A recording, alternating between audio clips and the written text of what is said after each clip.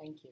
So I want to talk about like why people are not just running into their doctor like, hold up, give me the answers. Why why why is that not happening across the board? What's stopping us? Ding ding ding. the million dollar question. uh, you know, it all comes down to stigma, right? Um, and also, we, I, we were kind of getting into this before we walked into the studio. This idea of like, well, if it's not for me, then why Sure. should I? Yeah. Or people will maybe think that I actually am positive if I Mhm. if they knew I were taking it.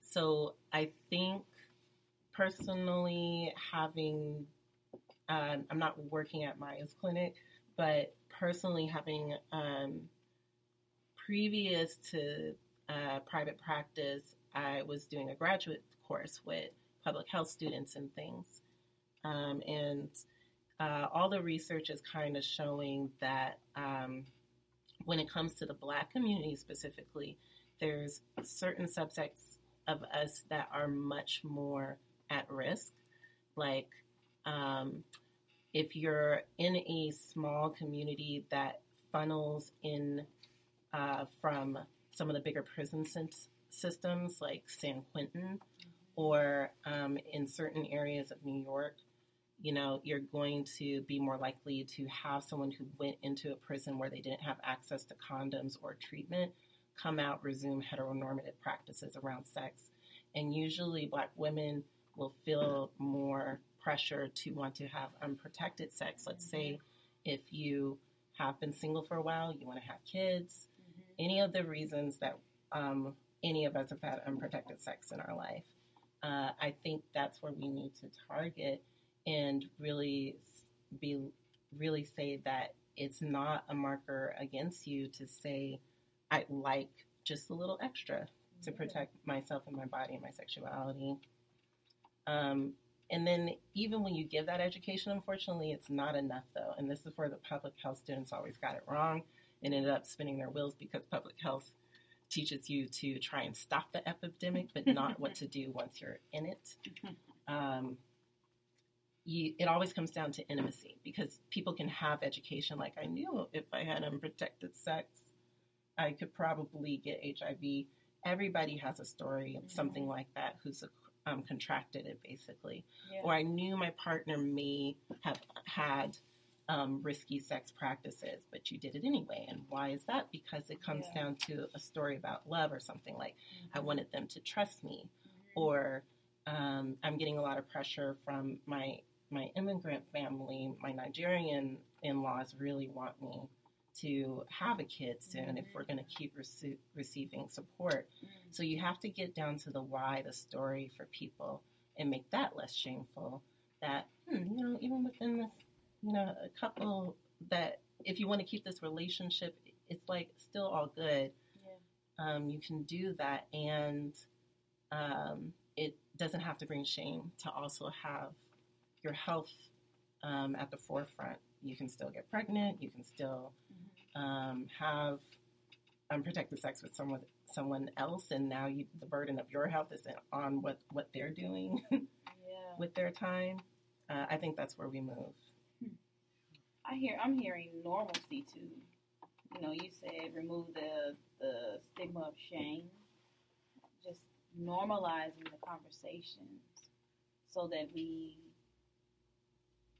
can speak for our lives. You know, just normalizing the conversations. Mm-hmm. Make like let's make honesty sexy. can we do that? Honesty is sexy. You know? Yes. Oh my God. Real talk.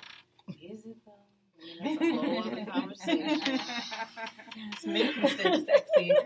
Okay. So I just I just want to kind of go back to something that you had said, Quandra. Like, how can we make stigma? Like, how can we free ourselves of stigma?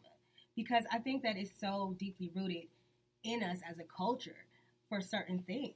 Like, even me, as liberal and liberated as I try to be, I have a hard time talking about sex sometimes in certain circles. I have a 14 year old son.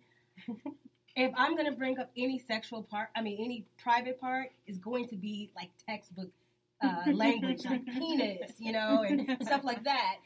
And he's looking at me like, "You're weird, mom." like, who says penis?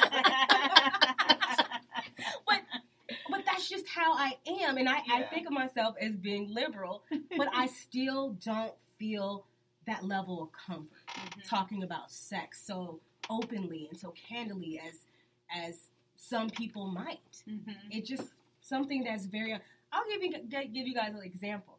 As grown as I am, if I'm sitting in a living room with my father and we're watching a movie and I know a sex scene is about to come on, I'm gonna get up and leave. we used to do the same thing. Yeah. It's like I want to be Oh. sitting in a long slow mo, Right, it's on somebody's back while Dad's sitting here, heavy, heavy panting. What do you look? Um, Yeah. Maybe also change the channel for dad. Like, Yeah, dad, you're too old. You're too young to see okay. this. I'm looking out for you. and that's fine. I'm not going to pretend that I'm always super liberal enough to like. I'm getting there. I'm having more conversations with my own parents, and uh, that's okay. Uh, but outside, yeah, I'll talk about sex all day. Um, I'm probably the most liberal out of the whole bunch. I don't have kids yet, which helps, but I talk to my parents about everything, and I'm like, "You scared? It's okay. Let's talk." So, hence this platform, and and I really love just bringing that to the table of like, what do we do when we're speaking to our children? And I love what you brought up, Quandra. I never considered the effect that the prison industrial complex has specifically on Black sexuality. Like this is something I've seen time and time again. You know, women, pen pals. You know, you love a man. He's been through a lot. He's in prison. He gets out. You know, like you could save him, you Mhm. could change him, whatever the story is. And There's and love. also um, it's been tied to the heroin crisis, which of course was um, much more prevalent in impacting our communities, but no one cared until middle class white people were also Mhm. dying. Yeah. So that that's usually the story, and that's not to say that someone of a middle class background never touched drugs in their life can't also get HIV. And when we talk about rem- removing the stigma, it's continuing to talk about it in general and getting the narrative changed. Um, so I love in general that we're coming to being more open around mental health. You've got celebrities talking about it left and right. I see commercials before NBA games of like, Mhm. you know, celebrities, uh, athletes saying how therapies help them. You have Rihanna giving a shout out to Therapy for Black Girls and Solange. And so the more that happens, I think there's this new generation up and coming that doesn't have the same shame of like, I need to go to therapy or find a support group. Um, there's uh this generation Z or whatever we're calling the next one under that. Okay. Um, teens. we'll figure it out. we'll figure it out. Mhm. Uh, I think as Black people, we are equally on board as the general population with what mental health awareness and therapy can do for us. Um, we're just presented with an extra layer of barriers with getting access, like maybe what's available to you is a clinician who doesn't look like you, and then you're worried about a microaggression or having to educate them about whether or not your experience is real. Like if you want to talk about racism at the workplace and how that's making you depressed, and then your therapist tells you, I've heard horror stories.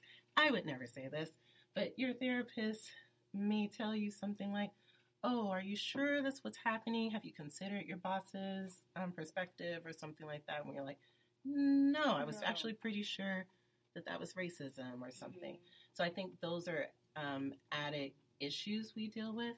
But the stigma we're definitely breaking down in general mental health things. Just I don't know that we get there as fast with sexuality. Um, I don't Um, thank you, thank you. I love that. And um, and to address what you were referring to earlier, Mayia, regarding like speaking within families, one of the things that Nika Cherrelle's is embarking on is our family division and creating healing circles for families that focus on ending generational trauma and cycles of abuse. So, like, how to create those conversations in the family unit, starting at a young age, and bringing children up with consent consciousness and Mm. eradicated shame. Like, what does it mean to raise healthy children? Um, I'd also like for you to talk a bit about some of the resources that are up right now for San Francisco AIDS Foundation um, and any resources that you have as well, Quandra. So, some resources um, within the uh, San Francisco AIDS Foundation, we, we have a, a, a lot of resources. We have um, things for people who are suffering from some type of substance issue. Um, we have things for trans people, people living with HIV.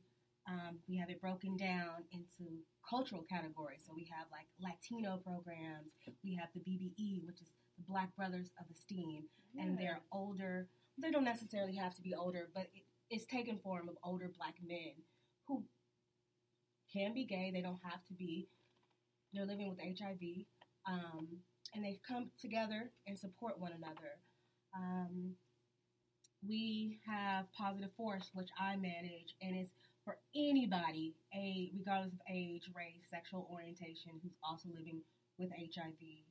Um, and what I'm trying to actively do now is start a program for women of color, specifically African American women, because we just don't have that Mm-hmm. at this time at the foundation um, to support our women. Because one of my, my main things is I don't want our women to live in isolation. And I feel just because where we are as a people right now, that's happening. I'm Yeah. running into too many men and women who are black living with HIV and they're all alone. They're by themselves and they can be surrounded with people Yeah. but they're still alone because they're the only ones who are aware of their own struggle and they don't mm-hmm. have anyone to talk to, to vent, to someone who can understand them. So that's something that I am starting.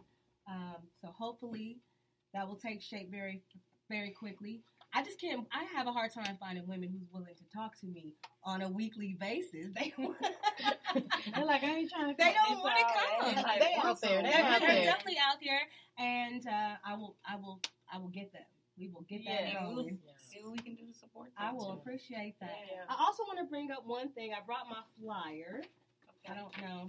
So this is something that's going on. This is um Yep. it's it, this has some history. So it it's called our Plus Seminar, and what it is, it started back in the '80s, and it was a weekend retreat where people living with HIV would come, hang out, chill before they died. That's the Mm. history of the Plus Seminar. So that's not really what it is anymore, but it is a, a weekend event still that we hold where we come together, we network, we have presenters that come to, to give education. Um, and our next one is March 28th and 29th. So I would like, you have to register, and everybody is welcome to attend.